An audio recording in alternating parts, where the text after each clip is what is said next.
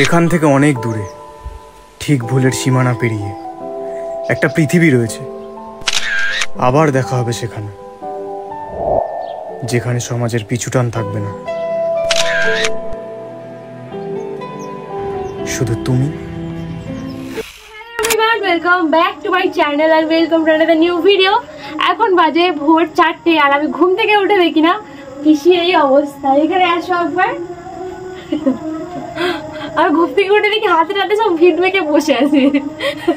কারণ কালকে রাত দশটা পর্যন্ত অফিসে কাজ করেছে বাড়ি এসেছে তারপর মেলা দেখেছে হ্যাঁ মেলা দেখেছে আমরা বাড়িতে এসেছি আবার বারোটার সময় এসে খেয়েছি খেয়ে ঘুমিয়েছি প্যাকিং ট্যাকিং করে সাজুগুজু কিছু করা হয়নি তো সকালে উঠে ভিড় লাগিয়ে দেখি বসে আছে। দেখ ঘুম থেকে চোখ খুলে দেখি না ভিড় ফিট লাগিয়ে বসে আছে। তো চলো আমরা ফাটাফাট করে রেডি হয়ে নিই। একদম সময় নেই অনেক দেরি হয়ে গেছে চলো বেরিয়ে কথা হচ্ছে। এখন আমরা আছি গড়িয়া স্টেশনে। এখান থেকে ট্রেন ধরে যাব আমরা শিয়ালদা, তারপর যাব হাওড়া। এখন আমরা হাওড়া চলে এসেছি। তো ফার্স্ট লোকেশন হচ্ছে হাওড়া ফুলের মার্কেট আর মল্লিকঘাট। তো ফুলের মার্কেটে যাওয়ার জন্য ফার্স্টে ব্রিজের উপরে উঠে আমরা নেমে এলাম সিঁড়ি থেকে। সিঁড়ি থেকে নেমেই এই ফুলের মার্কেটটা রয়েছে। এখানে অনেক কম দামে ফুল পাওয়া যায়। এটা আমি আগে জানতাম না যে এখানে এত বড় একটা ফুলের মার্কেট আছে। তো এখান থেকে ফুলগুলো নিয়ে নেওয়া হয়েছে। আর এখন আমরা চলে যাব সামনের দিকে। আর এই ফুলগুলোর দিকে তুমি চোখই সরাতে পারছিলাম না। এত সুন্দর লাগছিল দেখতে। আর সকাল সকাল কত সুন্দর ফুল দেখলাম মানে মনটাই ভালো হয়ে গেল। এখন আমরা ফুলের মার্কেট থেকে ফুল কিনলাম। আর এই তিনটে বান্ডিল নিল একশো টাকা। ফার্স্ট বলছিল পঞ্চাশ টাকা করে। তারপরে ভীষণ বলল যে তিনটে একশো টাকা দেবে। তো একশো টাকা দিয়ে দিল। এখন যাচ্ছি আমরা ঘাটের দিকে। ওখানে গিয়ে শ্যুট স্টার্ট হবে। ক্যামেরাম্যান চলে এসছে। তো চলো ওখানে ক্যামেরা অন করছি। আর হাওড়ার এখানে এসে দেখি এই এই ঘাটটার নাম হচ্ছে মল্লিক ঘাট ঠিক আছে? তো এখানে এসে দেখি কত প্রি ওয়েডিং শ্যুটের জন্য কাপেল এসেছে মানে প্রায় কুড়ি তিরিশটা ছিল। সবাই শুধু শ্যুট করছিল, এখন বাজে সকাল সাতটা, আর এখন পুরো ভিড়। তো এখন আমরা যাচ্ছি সেকেন্ড ডেস্টিনেশন ইডেন পার্কে আর হাওড়ার এখানে যে কটা শ্যুট নেওয়ার নেওয়া হয়ে গিয়েছে, আর খুব ক্লান্ত হয়ে গেছে আমার পিসি, কারণ পুরো শ্যুটটা রোদের মধ্যে হয়েছে। আর এখন যাচ্ছি সেকেন্ড ডেস্টিনেশনে যেটা হচ্ছে ইডেন পার্ক সো এখন আমরা আছি ইডেন পার্কেতে আর এখানে আমরা চলে এসে প্রায় আধা ঘণ্টা মতো হয়ে গিয়েছে।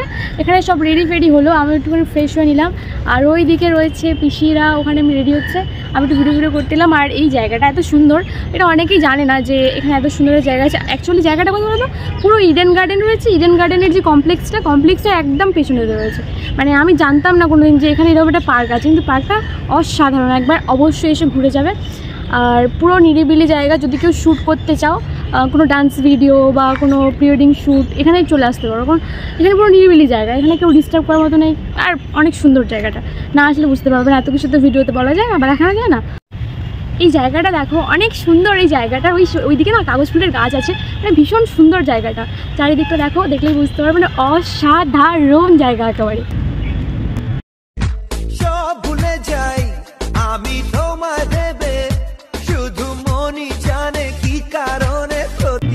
এই যে দেখো, এইটা হচ্ছে কাগজ ফুলের গাছ। আমি আশা করছি তোমরা দেখতে পাচ্ছ। আর এটা কত সুন্দর আমার বিশাল ভালো লাগছে। একবার নিচ থেকে তোমাদেরকে দেখাই। পুরো মনে হচ্ছে না বাইরের কোনো একটা দেশে চলে এসেছি। আর ভীষণ ভীষণ সুন্দর। এই জায়গাটা পুরো রাউন্ড করে রয়েছে। আমি দেখাচ্ছি তোমাদেরকে। মানে এর, আমি পুরো মাঝখানে ঢুকে গেছি। আর এখন আমার চারিদিকে শুধু কাগজ ফুল গাছ রয়েছে। আমার না ভীষণ মজা হচ্ছে। উহ! এখানে অনেকগুলো ফুল হয় এখানে এখন আমরা বসে আছি মানে আমি বসে আছি। ওখানে চলছে শ্যুট পিসির ভীষণ শুয়ে পড়েছে। কেমন ফিলিং হচ্ছে? ভীষণ এই তো শুয়েছে ও একদম বিয়েতে এখন গরিবের ড্রোনে শ্যুট চলছে, আর কি পিসি বলল যে ড্রোনে একটু শ্যুট করে দে। আসলে না, আমার কাছে স্ট্যান্ড ছিল আর আমাকে বলল যে একটু উপর থেকে ছবি তুলে দে। তো আমি সেটি চেষ্টা করছিলাম, কিন্তু আমার হাত আর পা চলে আসছিল, কিছু করার নেই। তো তারপরে একটা ফটো তুলেছি ফটোটা কিন্তু খুব খারাপ আসেনি, ঠিক আছে? এখন আমরা আমাদের লাস্ট লোকেশন ময়দানে আছি, আর প্রচুর টায়ার্ড হয়ে গেছে সবাই, এমনিতেও একটু মনটাও খারাপ হয়ে গেছে সবার একটা ইনসিডেন্টের জন্য।